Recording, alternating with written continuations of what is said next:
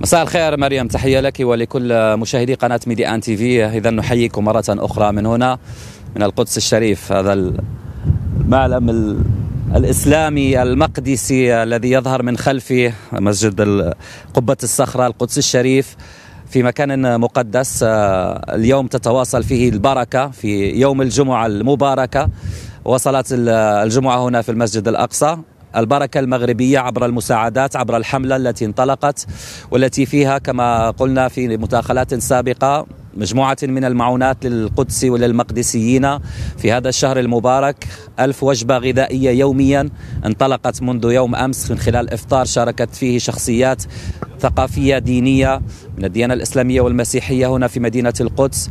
واليوم تتواصل هذه العملية في قلنديا في الشيخ جراح في البلدة القديمة في الرم في مجموعة في مخيم شعفاط في مجموعة من المناطق من القرى من المدن القديمة هنا في مدينة القدس والمناطق التي قد نقول بأنها تعتبر أقل حظا. ألف وجبة غذائية تتواصل على مدى شهر رمضان المبارك كما أمر بذلك جلالة الملك محمد السادس في تعليماته السامية الخاصة بتقديم المساعدة لأهلنا هنا في القدس الشريف أو حتى أن تعلق الأمر بمدينة غزة.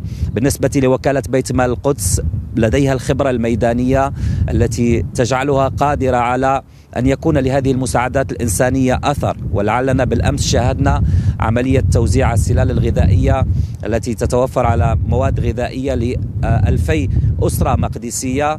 وشاهدنا كيف أن لكل منطقة ممثلها الخاص الذي يأتي ويتسلم هذه المساعدات في تسليم هو رمزي. نعم ولكن هؤلاء هم المكلفون بالتأكيد بالتعاون مع الأعضاء الخاصين والعاملين مع وكالة بيت مال القدس. يقومون بتوزيعها على الأسر الأقل حظا هنا على الأسر التي تعاني من الفقر والهشاشة وتزداد معاناتها من خلال آه، الشهر الكريم وبالتالي للتخفيف عنهم. وكالة بيت مال القدس نقول بأن لديها القدرة على تحقيق الأثر والوصول لهؤلاء الناس الذين يحتاجون مثل هذه المساعدات ولطالما عملت الوكالة عبر ربع قرن من الزمان بتقديم مساعدات في كل المجالات وتقوم برعاية مجموعة من الفئات التي تعتبر من الأقل حظا هنا في القدس الشريف على غرار الأيتام والأرامل أو حتى الباحثين عن العلم من من الطلبة الذين توفر لهم التكوين وتوفر لهم مدرسة مدرسة اسمها مدرسة الحسن الثاني هنا في القدس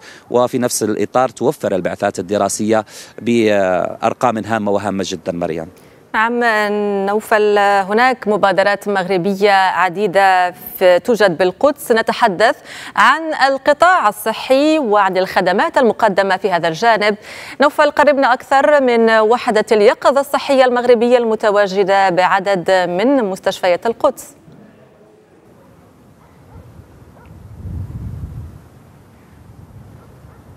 نعم مريم يعني كما كما قلنا اليوم هي هي عبارة عن حملة لمساعدة آه، القدس والمقدسيين.